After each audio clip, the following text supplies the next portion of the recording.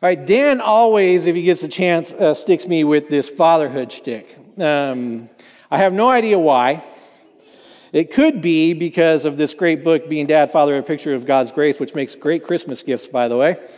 Um, that he does that. I'm certain that that's why it is, as a matter of fact. Um, and I, I want to say that when I, when I first started teaching on being dad, I found it rather edifying to get to talk about fatherhood all the time. And the more I taught on it, the more I began to understand something that I didn't really understand all that much. And I'll explain why. I didn't understand all that much how complicated the idea of fatherhood was and is to people. The basic premise of the book is that as the t- subtitle says, that fathers can be, good fathers can be an analogy to God's grace or a picture of God's grace, a concept I still wholeheartedly stand behind, but I really didn't understand at all how complicated that message was to some people. You see, I, as if you've read the book, you know this, my dad died when I was very young, so effectively I have no memory of my father. So effectively, like as my life in my life as I remember it, I don't have a dad. Now, this means that every time I thought of a good dad, I was able to sort of conjure up this imaginary picture of the perfect dad that didn't have sort of the everyday foibles that even good fathers have on a day to day basis. And I know this now because I'm a father. And I think if I listen to my children, that there are certain foibles that I have. I don't always agree with their assessment of that but they do mention it from time to time. Secondly, in place of having a dad, um, I sort of was always on the lookout for great mentors or father figures that could sort of fill that gap for me. Many of them are in this room right now. Kurt Winrich is over here to my left. Rod Rosenbladt's in the back. Jim Nestingen was in the back, although he disappeared somewhere. Ron Hodl's over here. These men, at various times and in various ways throughout my life, really sort of created for me a picture um, that re- very much matched what I wrote in the book from time to time. But even then, they weren't my dad, and so I didn't spend 24 hours a day with them from the time I was born till the time I was 18 or whatever and moved out. And I didn't understand all of their foibles, and it didn't help me understand how complicated this idea was. So, thus, when I would go out and teach on the idea of fatherhood, I would stick to sort of reciting the story of the prodigal son as Rod had taught me, pictures of God's grace, the father running towards the son and embracing him as he'd come away from the far off land. And I would do that for you today in great detail if Dan hadn't stole it last night. So after I axed out the first third of my talk and replaced it with this, this is what I ended up on. When I would go out and teach on this subject and understand how complicated not only the idea of fatherhood was, but fathers themselves were, I realized that when I would say father as a picture of God's grace, many heard not gospel, but law. And then beyond that, I had to understand something else, something that was very, very hard for me to get a handle on. And that's that many people had or have bad fathers. And the picture I was creating wasn't necessarily that helpful for them. We'll do more on that at the end. I'm going to do what no professor should ever do and ask you to hang on to that idea for a few minutes. Where I've landed is that I think there's a question, and I think it's a question that we need to ask ourselves when we think of this idea of the Father's love for us in Christ. We need to ask ourselves how do we expect to be treated by God our Father? Not how do we want to be treated, but how do we expect to be treated by God our Heavenly Father? And I think there's a couple options here. Do we expect that God the Father is going to treat us as though we are mere offspring under the law of a tyrannical father. I think many people think that way. I think many people have experiences with fathers that drive them to that conclusion. Or do we expect to be treated as children of an Abba father who loves us in Christ? Now, I have recently been watching this uh, show uh, that I was very much talked into watching called The Chosen. Now, I was talked into watching The Chosen because somebody's like, you should watch this Jesus show. And I'm like, I'm pretty sure I'm going to hate it. and they're like, no, it's a Jesus show. And I'm like, yes, I heard you the first time. I'm fairly certain I'm going to hate it. I don't think you listened to me, actually. And they're like, but it's really good. And I said, mm, probably not. and then by about the 10th person that heard that, I was, I had gone from probably not to, you really think so? And they're like, yeah, it's going to be good. And then finally, I was at a, one of our gatherings that we occasionally do in San Clemente, and I heard Rod Rosenbladt going on and on about how good The Chosen was, and I was like, what? The reason I'm pretty sure I would hate this show is because Rod taught me to hate shows like this. so, what's going on here? And so I watched it, uh, first season at least. We haven't started, Joy and I haven't started the second season yet. I'm sure we will uh, soon. But I was honestly blown away. I mean, I don't believe I got through a single episode without crying. Um, there are just some scenes in there. You know, uh, Mary Magdalene, it was good luck getting through that one. Um, you know, things like that. But one of the things I love is how in the show, when somebody has a relationship with their father, even say with Matthew, um, this relationship with his father isn't very good at the beginning, but kind of gets better towards the end of season one. When they say father, they're saying Abba in the show. And it's, I told my friend Kurt that one of the reasons this show is good for me is because I don't have a very good imagination. Um, I see words, that's why I don't, I'm not really good at reading poetry. I see words on a page and I see the words on the page and I comprehend the words on the page, but I don't really create pictures of the words in my head like many people do. I'm just like, well, that's very interesting. Thank you. Kind of like a robot.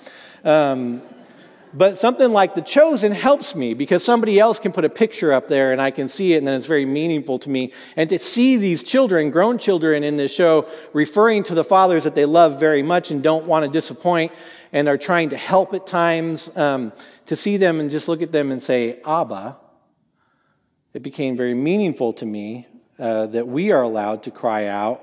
I'd say more meaningful to me that we are allowed to cry out, Abba, Father. Those are the questions. Are we mere offspring of a tyrannical father, constantly trying to earn his affection by works of the law? Or are we children of Abba, Father, who loves us so much that he brings us to himself in Christ? Now, Caleb last night, if you were at his talk, said he would refuse to create a straw man that he then tore down in his talk um, that shows that he is a more ethical person than I am, because what I am now going to do is create an online straw man that I will destroy in my talk. So here we go. On the socials, as the kids probably used to say, um, which is funny because I'm not so much on the socials myself. Um, but on the socials, as it's sort of given to me by other sources, constantly. We have a policy at 1517 that we don't respond to anything negative that's said about us online. We don't respond, period, the end. That's, we don't have a lot of policies. There's two of them. That's one of them. You don't respond to anything that's said ne- negative about us said online. But this does not stop everybody that's on staff who is on the socials from constantly haranguing me with what people just said against us on the socials no matter how much I asked him to stop, including my wife, as we're sitting uh, over coffee in the morning. Did you see that? Nope, I didn't see it. Well, this is what it said. Said, said I didn't see. Okay, that's fine.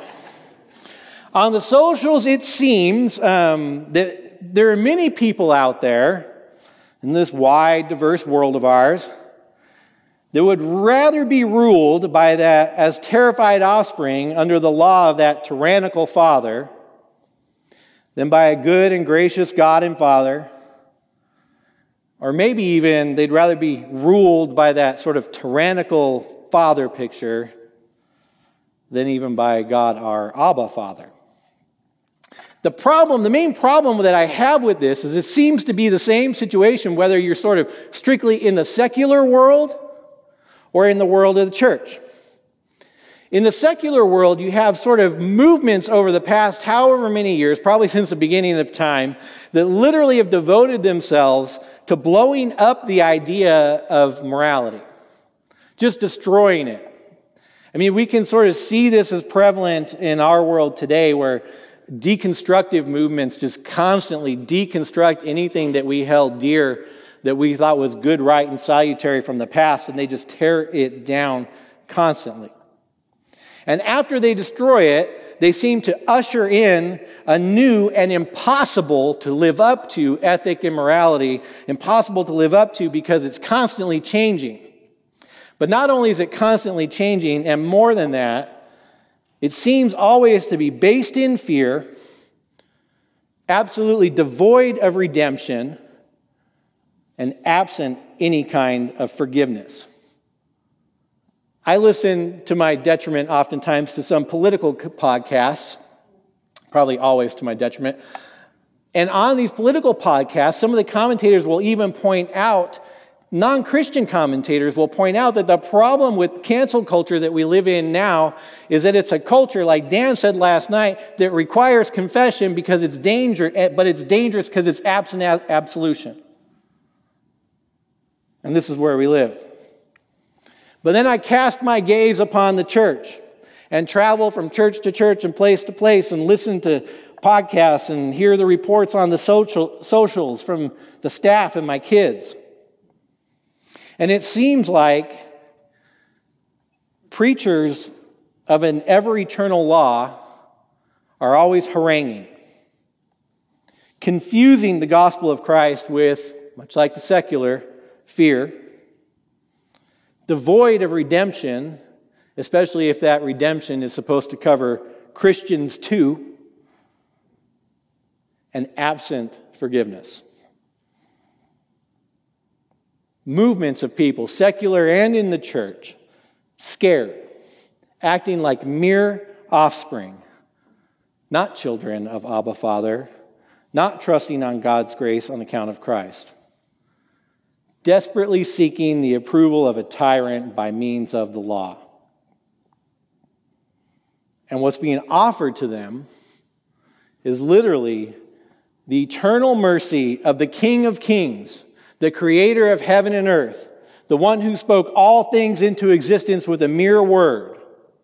And he, that person, invites them to call him Abba Father. I heard uh, John, my friend John Hoyam, talking about this the other night at the pig roast at Sarah Crowder's house, uh, a Forde sermon on Psalm 130 that I didn't uh, read. But he pointed out that Psalm 134 is, uh, With you there is forgiveness, therefore you are feared, which was the subject of this uh, sermon. And I thought, this matches exactly, I think, this is the missing puzzle piece that I've been struggling with here. With God, on account of Christ, there is forgiveness. Therefore, people are terrified of him. Forgiveness is scary. Forgiveness means that somebody has seen everything that you've done. Forgiveness means that every, somebody has heard every thought that you've uttered that you thought no one knew about. Forgiveness means that somebody knows you. And that's terrifying. I point out in, the, in being dad that a good father isn't one that looks over every sin. That's not what forgiveness means. A good father is one that knows the sin of his children and for the sake of Christ forgives them anyway. That's scary. Fear means then that they prefer to cling to the law and to treat God, their Abba Father, not just as a tyrant, but as a schoolmaster always seeking from him just mere instruct, instruction on how to live, how to do better, where to go from here. But a schoolmaster, even if that schoolmaster has its, he is a useful part of a child's life, a schoolmaster is not a father. The schoolmaster, and the schoolmaster that's talked about in Galatians 3, is a schoolmaster that serves a purpose. That schoolmaster that was the law had a job, a very defined job. Galatians 3 23. The law was our schoolmaster to bring us to Christ. So if you are in Christ, then you are no longer under the tyranny of the schoolmaster. You are within the love of the eternal Father. You are adopted as his child. You belong to him. He has claimed you. He has taken you out of the custody of the schoolmaster and put you in his custody to be in his hand forevermore, and no one can ever pluck you out of that hand. All this for the sake of Christ. So then, because I'm like my buddy Melanchthon and I like my lists very much, we are called to maybe two called. Called not to and called to. Called not to live as terrified students under a tyrannical schoolmaster, but called to trust in the mercy of Abba Father on account of Christ alone. Yet, this gospel truth this Abba Father reality is just so often rejected. The fearful accusers of the gospelers, who are the gospelers, people? Not rhetorical. Who are the gospelers? You are welcome to say, I am. Who rests in the gospel of Christ Jesus as your only hope for salvation? You are. You are the gospelers. The fear, fearful accusers will come out of the woodwork. They have come out of the woodwork, and they level accusations at you. They will say to you, because you trust in that mercy of God on account of Christ alone, and you talk about it so darn much, and it's just so upsetting that you don't talk about your good works enough, they'll say to you, You're an antinomian. You're one of the lawless ones, aren't you? I can see you coming from a mile away and you're pretty dangerous. And you'll say, I'm not an antinomian. They'll say, That's fine. You're a soft antinomian then. And I'll say, I don't even know what that means. Well, they say it's almost as bad as an antinomian, but still pretty bad. Okay? They'll look at you gospelers and they'll say, You know what I think? I don't think I'm hearing enough of that, as my friend uh, David Zahl would say, little L law coming out of your mouth. In fact, I can't remember the last time you told somebody to balance their checkbook for Jesus. I don't remember the last time you gave a chore list at the end of your sermon. What's going on here? Are you missing the point altogether? Those accusers are going to come out of the woodwork and they're going to say to you, you know what? I think you're talking too much about this trust in the Father's love for the sake of Christ. Don't you have anything better to talk about? You sound like a broken record.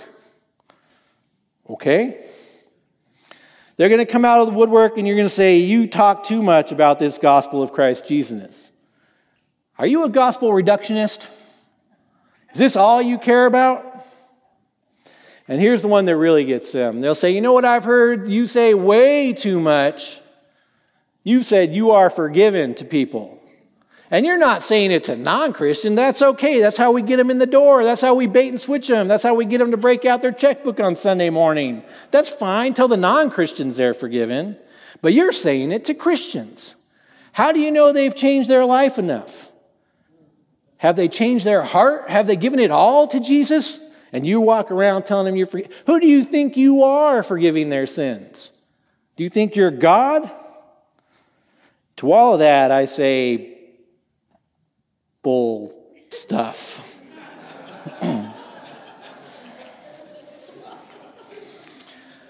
Personally, if I had a choice, I'd rather be accused of being a soft antinomian who is certain of the Abba Father's love for me on account of Christ, than a flaccid Pharisee trying to earn a tyrant's approval by works of a law. I think every gospeler at one point in time, if you are a gospeler, if you're proclaiming the gospel of Jesus Christ, you will be called an antinomian, and that's okay. But just in case you start to get a big head, and I was really worried about this section that you were going to start to get a big head all about yourself, I want to remind you of something. You are a sinner. Hear me here. You really are. You are a sinner. You have sinned against God in thought, word, and deed. You have done things that are deplorable to Him. And you have not done many, many things He has fully expected and commanded you to do. Romans 3:23 for all have sinned and fallen short of the glory of God. You are included in that all people. You are. Isaiah 59:2 but your iniquities have made a separation between you and God. Don't overlook that. Your iniquities have made a separation between you and God, and your sins have hidden his face from you so that he does not hear you. 1 John 1 8, if we, have, we say we have no sin, we deceive ourselves, and we're very good at deceiving ourselves, and the truth is not in us. You see, I've talked a lot about this Abba Father who loves you very, very much, but I can honestly tell you that apart from Christ, your God is not your Abba. Sin separates you from Him and leaves you in desperate need of saving. You cry out with Paul, Who would deliver me from this body of death? Your answer is not as clean as Paul's, likely, though, because you ra- likely have something rattling around in your head. Will I save myself? Will Allah still save me? Can somebody else save me? Or will the Father provide my Savior? So, therefore, your Abba Father has sent Christ to be your Savior. Romans 6:23 for the wages of sin is death but the free gift of God is eternal life in Christ Jesus our Lord.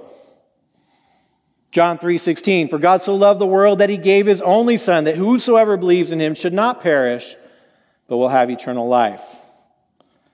John 1:12 But to all who, who did receive him he believed in his and believed in his name he gave the right the right When we start talking about our rights maybe we ought to talk about this one the right to become children of God. You see, you are a sinner in thought, word, and deed, but God has provided the answer for that for you. He has sent Christ to be your Savior. On account of that Christ, He has adopted you as His child. Literal adoption as child. Chose you to be His from before the foundation of the world. Worked out that adoption in real time in history, not only through the death and resurrection of His only Son, but by sending to you a preacher who showered you with God's Word who showered you with water in the word, who puts the bread and the wine, the body and blood in your mouth, and says, Given and shed for you for the forgiveness of your sin. And when he does that, when that preacher does that, just as when the grave spit Jesus out of the ground, your Abba Father spit all of your sin, death, and destruction right out of his mouth. Now, we gospelers, that's us again, in case you weren't following along or dozed off for a pappy nappy. We gospelers know a few things. First, we know the Father's love for us in Christ equals our great hope and assurance. If you wanted to know the answer to the question of why we're here talking about assurance, that's it. The Father loves you in Christ so much that He sent His only Son to be your Savior, and in Him you will have eternal life. Amen? But we know another little secret that the law clingers don't always know so well. Uh, could I have the picture that I asked for while I fix my thing? You see, I have a dog. Now you're asking yourself, what the heck does a dog have to do with the love of God the Father in Christ? Ah, I will tell you. Um, this picture will tell you a lot about my life over the last year. It'll tell you that I have a husky on the right whose name is Kai um, who's 15 years old. She looks pretty good for an, for an old bat, doesn't she? Um, and I have a puppy whose name is Lucy on the left. Lucy's very sick right now, by the way. It's, it's heartbreaking to me. And you can tell me by the, you can tell by the electrical socket that's not quite finished behind the dogs that I've been remodeling a house for a year, right? So pray for me, because my wife, uh, likes to uh, ride me through it. Let's just say that. Now, the dog on the right, Kai, she was a legitimate sled dog. For years, uh, I, I, took her out with other Siberian Huskies that we had to a little place called Hope Valley up in the Lake Tahoe area that is, in the winter, a very, very cold place. In fact, in fact it's one of the most continuously kind of cold places um, in the lower 48, like day and night, just because of the valley that it's in and the elevation that it's at and everything, glaciers and everything. It's a cold place, but we'd go dog sledding out there, and Kai was the lead dog. Right? And Kai, she's 15, let me, did I mention she's 15? Right? She's 15 years old, but she was the lead dog. And you can tell by the fear on Lucy's face, maybe, that Kai still believes she's the lead dog. Right? she remembers the day when it was her job to keep all of the other idiot huskies in line because she was the smart one, right? Lead dogs have a job. It's pretty much to make sure the wheel dogs don't do crazy stuff. And they do that by snipping at them and barking at them and yelling at them and attacking them in the whole nine yards. And Kai remembers when that was her job right? So she goes around snarling at everything and every you try to pick up her food and just growling at you. The puppy walks by and making the puppy a nervous wreck all the time, which has become a bit of a problem, right? But Kai is a lot like the law, right? Because I know something that you don't know, just like we know something that the law dogs don't know, right? That about a year and a half ago, we had to pull out almost all of Kai's teeth because they were rotten. So nobody else knows that as she barks and snarls and snaps, everyone else, oh, she's a real dangerous critter. But much like the law, she has no teeth left. It can bark and it can snarl and it can growl and it can accuse and it can bite at you all at once.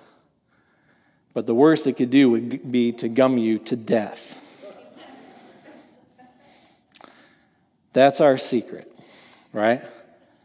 This is the Father's love assurance that He gives to us, is not in the law. You can change pictures now, unless everybody wants to look at Kai and Lucy. All right. And just in case you were wondering, too, uh, neither is this about your faithfulness, right? We kind of can sometimes get the impression that, okay, okay, okay, Scott, it's not dependent on my fulfilling the law, but at least it has to be dependent on me being faithful, right? I have to persist until death, right? I got to make it. I got to run the race, right? Well, I think you might be reading those verses wrong. Because I think the reality is that God the Father, for the sake of Christ, will always be more gracious to you than you will ever be faithful to Him. And on that point, if you held on to what I asked you to at the beginning, here's the now more about fathers being complicated. I told you my difficulties in teaching this from being dad, which I did pretty consistently um, for several years. I still contend uh, that the love of good father is a powerful analogy in this life to the love of God, our Heavenly Father, and that it's still a very workable lesson. Yet I've learned that fathers are frail and that fathers fail. Fathers, at best, disappoint us. At worst, they're evil to us. And in the middle, they do all sorts of other things. Maybe they leave for a time or forever. Maybe they die, and we're mad at them for it. And maybe they do even more than that. I think I was trying to put it together, but if you know me, you know I'm horrible at dates and that kind of thing. I think it was in 2009. I had gone up to Trinity Lutheran College up in um, Washington. I don't remember the name of the city right now, and this microphone, as always, is bugging me. Um, and I was teaching up there. My friend named Jeff Mallinson was the academic dean up at the school, and he had me come up, which he did uh, for a couple years, to teach a class on Melanchthon to his undergrad students. My friend John Hoyam was there for that class. And it was great. We got into some trouble that we're still paying the price for during that week. Um, but it was a great trip, great teaching event. My wife and I were driving home, and I believe we stopped at Jim and Carolyn's house in Dallas, Oregon, and say, said hi uh, for a day or two. I think that was maybe the time my wife left their chacos on your porch. And then we drove down again, um, down to uh, northern Nevada, where we were living at the time. And I remember it pretty distinctly. Uh, we were just crawling into bed, and we got a call um, from my mother in law telling us that my father in law had killed himself. Now, my father in law was always a complicated character. He had served in the Vietnam War and had done things in the Vietnam War that he just could not get over. And I was not a good enough preacher to him uh, to recognize, I would say I did not have my ear tuned to confession at that point in time to recognize that he needed an absolution. Um, and he spent year upon year going to counseling and in and out of counseling, in and, in and out of uh, even residential counseling. And it just never got better. And one day he got to be overwhelmed by it and he took his own life. I remember my wife and I hopped in the car uh, fairly immediately after just getting back from a very long trip and started out the now longer trek down to Mesa, Arizona, where her parents lived to help out as much as we could, of course, and to attend to the needs of the funeral. And I remember we got to about the Palm Springs area, or even, maybe it was the San Bernardino area. It's all kind of foggy for me.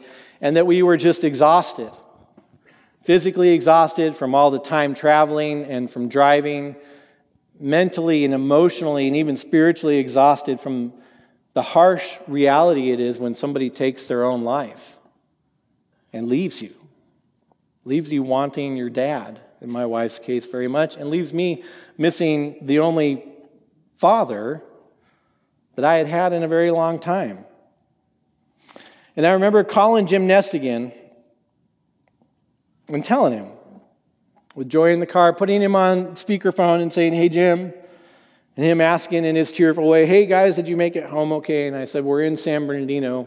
We're stopped on the side of the road. And I just need to tell you that we're traveling because Joy's dad killed himself this week. And without missing a beat, Jim says to me, Blessed are the poor in spirit for theirs will be the kingdom of heaven. And I was blown away by that response. He said, Who could be more poor in spirit than somebody who thought they had no other option? So, as I put this talk together, I asked myself a simple question how great is God the Father's love for us in Christ? How great is it? And I came up with some answers. I hope you like them. It's so great that He gives you Christ even when you are the poor in spirit and you see no other way out. Even when you're desperate and the thing that's not even an option all of a sudden becomes the only option to you. The love of the Father for you is so great that He gives you Christ when you are an unfaithful spouse. Or even when you're like most of us and are only unfaithful with your eyes and your thoughts. How great is the Father's love for you in Christ? It's so great that He gives you Christ if you are a hopeless, ragged man or woman he gives you Christ even when you think you are someone who has it all put together, which is maybe a harder situation for him. How great is the Father's love for you in Christ? It's so great that He gives you Christ if you're a good father, and He gives you Christ if you're a bad father, and if He gives you Christ if you're like my father in law, a terrified, desperate father. How great is the Father's love for you in Christ? It's so great that He gives you Christ in this life, whether you're successful in this life or an utter failure in this life. How great is the Father's love for you in Christ? So great that He gives you Christ. If you're a great Christian, a good Christian, or like most of us, just a Christian. In Matthew chapter 16, Jesus asks his disciples, I was thinking, the chosen, by the way, does a great job of this. when he asks his disciple, I love it when he asks his disciples questions because you never know what's going to fly out of their, their dumb mouths, right? he says, Who do people say that I am? And they're like, Oh, oh, oh, I know. Uh, some people are saying John the Baptizer. He's like, Yeah, that's not it. some people say you're Elijah. He's like, Nope, not Elijah. Uh, how about Jeremiah? And he's like, No, I'm not Jeremiah. How about one of the prophets? Well, no, not just a prophet. And then he gets sick of their dumb answers. Um, I, my thing with Jesus is always just like this. he's like, Who do you say that I am? And Peter, uh, who will never fail to pipe up, uh, by the way, Chosen does a great job of that too, says, uh, You are the Christ, the Son of the living God. And Jesus, I'm sure, unless he was at that exact moment reading his mind, had to be a little surprised at how good the answer was. And says, You know what, Peter? This was not revealed to you by flesh and blood, but by my Father in heaven. So let me tell you something that's not going to be revealed to you by flesh or blood, but by your Father in heaven. The Father loves you in Christ. You can be assured of that. He is the Christ, the Son of the living God. He was incarnate to live in your stead, to die in your stead, to raise as the first fruits of your resurrection, and He has adopted you as His child in Christ. You are His, and you can't do nothing about it, so just get used to it. The Father loves you in Christ, and that alone is your greatness, and that alone is your assurance. And now you can be assured of some things. You can be assured that He will care for you. You can be assured that He will protect you. You can be assured that He will provide for all of your needs. You can be assured that He will show you mercy as an Abba Father because of Christ. You can be assured of this that He will call preachers into your life that will do their job and that will tell you, as I do now, that you are forgiven by your Heavenly Father of all your sins because of Christ alone. Amen. That's how great the Father's love for you is in Christ.